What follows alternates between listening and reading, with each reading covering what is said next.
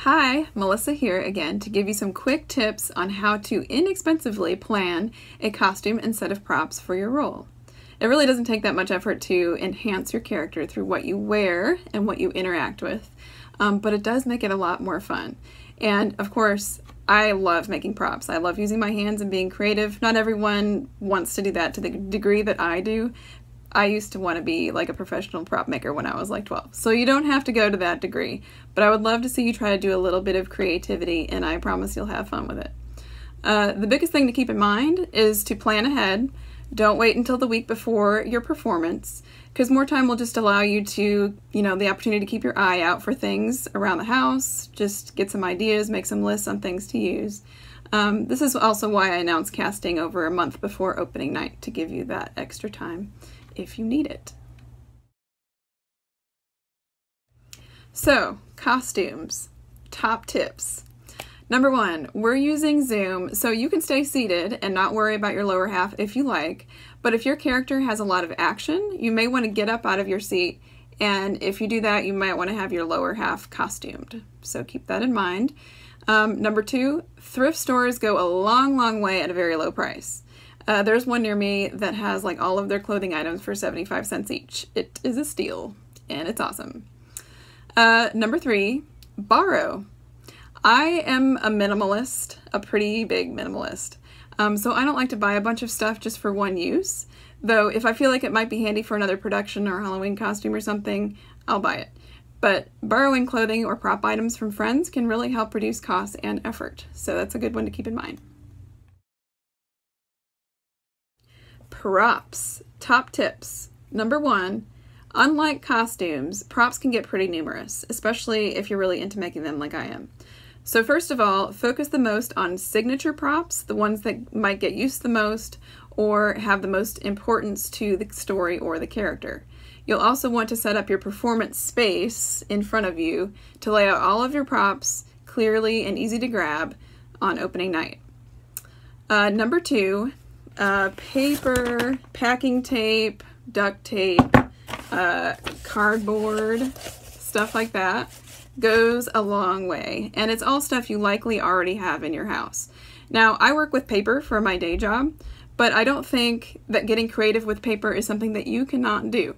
Now, I looked up this tutorial for this really cute origami hat that I made for my daughter so that I could save $8 on a real ball cap because she's only going to use it for one scene. And like, if all of your props, if you're into a bunch of them like I am, if all of your props are about 5 to $8, it's going to get expensive real quick.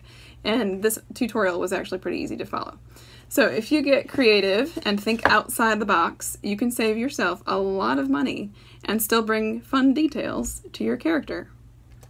Number three, if you want to up your prop game a notch, use bakeable clay. So I use a Fimo brand polymer clay from Hobby Lobby. Um, for small props, like small interesting detailed props that are about the size of your hand, um, here's a very detailed example. I know you're going to think like, whoa, that's too much for me. But I made this uh, police badge out of bakeable clay um, and then painted it uh, for a Halloween costume. So like that's not really the level of detail that I would expect you to do, but I just wanted to show it because it's fun.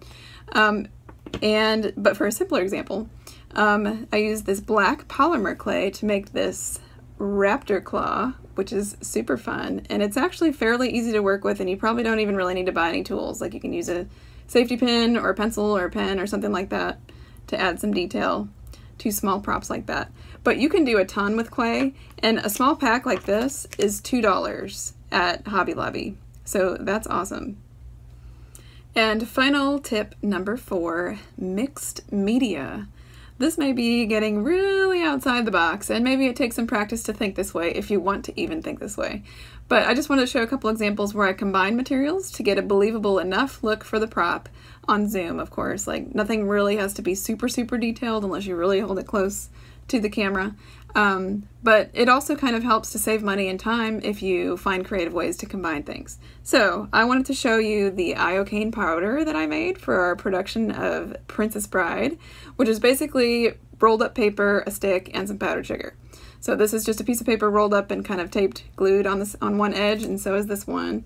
and then I just kind of looked meticulously through my yard for a piece that felt like the right angle as far as the stick um, to what I saw on the film. And then I just put a little bit of adhesive glue at the bottom uh, and stuck it in some powdered sugar. So there's my iocane powder. Inhale, but do not touch. And it was super fun to use. Like I just, I felt like Westley. Like you can't be Westley without offering someone some iocane powder, right?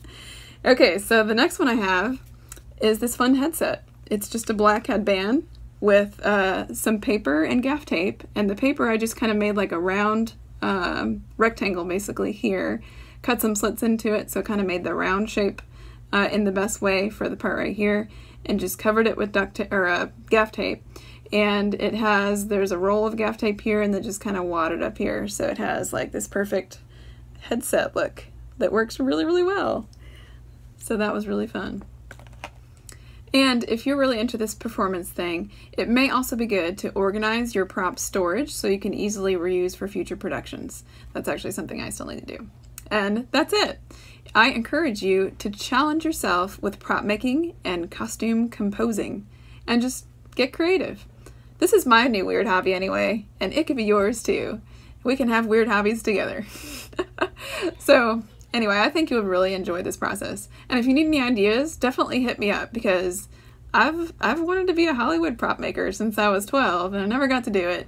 So I'd love to help you out if you if you need any help. Let me know.